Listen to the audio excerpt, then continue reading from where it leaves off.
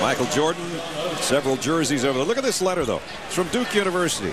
Dear Mike, we're sorry to hear that you're no longer interested to hear more about Duke University. Take care. We think you're going to be a pretty good player. Sincerely, Mike Krzyzewski. Isn't that great? that is awesome.